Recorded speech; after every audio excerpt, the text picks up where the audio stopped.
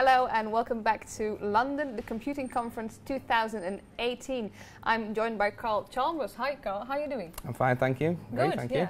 Um, you're associated with the Liverpool John Moores University. What exactly are you doing there? Um, so what we're doing is looking how we can apply um, machine learning techniques for analysing smart meter data.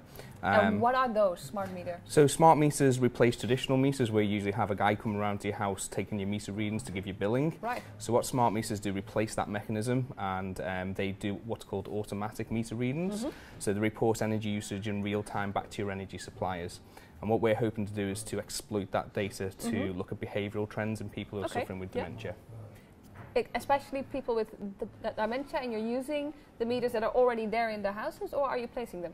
No, they're already installed in the houses. In fact, between now and 2020, the government will install over 50 million smart meters in the UK. Okay, yeah. And what we're hoping to do is piggy- piggyback off that infrastructure um, to collect the samples in real time. We've already done some clinical trials in the area, um, but by detecting what appliances people are using around their home, Yeah. we can discover what activities of daily living they're undertaking, and that's a really important metric for clinicians to understand how you're actually coping Ah, within your own home. And c- can you name some examples? What can you learn from those kinds of data? So within um, dementia field specific, specifically, we're looking for sleep disturbances because Mhm. obviously patients that have sleep disturbances are Right, a concern. Um, but in dementia particularly, there's a, it's a condition called sundowning syndrome.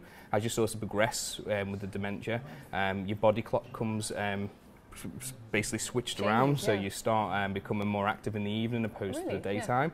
And obviously, if you start um, interacting with appliances in the evening more often, that's a good indication to the clinician that you might be progressing with the disease Yeah. but also just the total absence of usage. So if historically, you always get up in the morning, put a kettle on, make your toast, and then on the third morning you don't do any interactions. That Ah. could be an indication that you might have fallen or you've not got out of bed in the morning. So that's good, and, and you're working together with the, the, the appliances um, um organization that's delivering them to the homes, or Um, so no, we, we, we do do some work with Smart Energy GB, who's the smart meter rollout. Right. We also work with a company called Chameleon Technologies, um, and they basically make the CADs, Mhm. which is the devices that interface with the smart meters.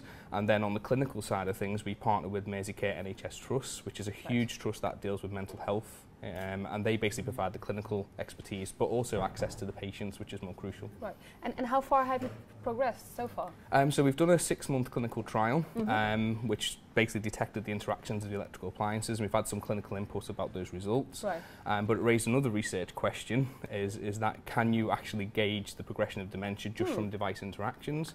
So we're just um, planning a two and a half year longitudinal study Okay. to measure those correlations between appliance usage Yeah. and the steady progression of dementia. And that's the current phase you're in. That's the current phase we're in, yeah. And have yeah. you seen any breakthroughs so far?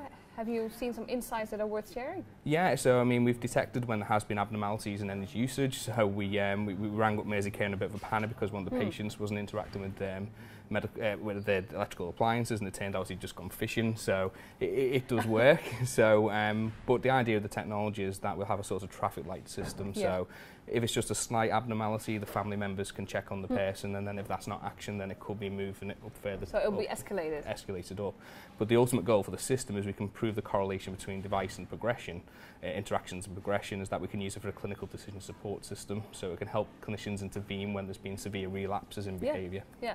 And what's the reaction of the patients so far, and their families maybe? Well, they like it because um, current solutions are quite intrusive and they're Hmm. quite complex and they require interaction. So you usually have like a, a pendant alarm on your body, Yeah. maybe passive sensors fitted around your home. This requires no additional interactions It's other than the devices there. that you usually use. So you've got to make um, tea in your microwave or you've got to Yeah. make a cup of tea in, using your kettle.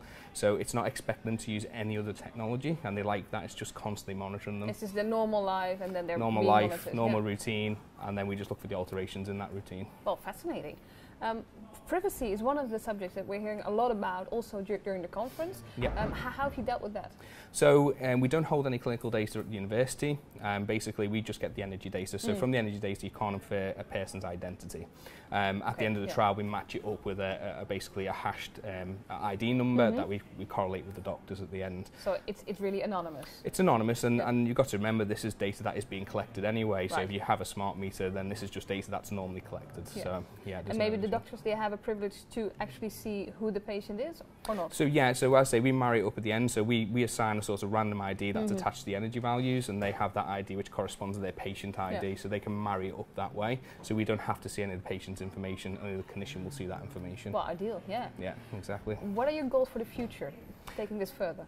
So um, we've got two sorts of strands with it, is, is that we can use the technology to give to someone like a carer, that mm -hmm. you mm-hmm. can just see the appliances that are being used, and as yep. I say, moving further into the future is using it for that clinical decision support. Right. If we can see those relapse indicators early and then those behaviours associated with it. So there will be like an orange light in, the, in your traffic light. Yeah. So if you know we see disturbing changes in behaviour, it might mean that we can intervene before people get admitted to hospital. Right. It also may mean that people can be um, discharged from hospital. Mm -hmm. So you mm-hmm. hear the term bed blocking. It costs the NHS 250 pound yeah. a night because wow. there's no support services at home. Yeah. So if you could send them home with this care package, could you discharge them from hospital? To make them sooner? a little bit more comfortable. Yeah, and, and just, just make them um, make it a bit of a safer environment because the ultimate goal is to try and age well with dementia. That's the, right. the goal of clinicians. And that happens better if you're in your home, own home in your own environment. Most dementia patients, when they get severe with this type of condition, they have to move out. Right. So can this technology enable them to live more independently in their home for longer periods of time? Well, that would be great. Hopefully. Thank you very much for our talk. If you want to see some more videos, uh, go ahead and click on them. I hope to see you later. So, bye bye.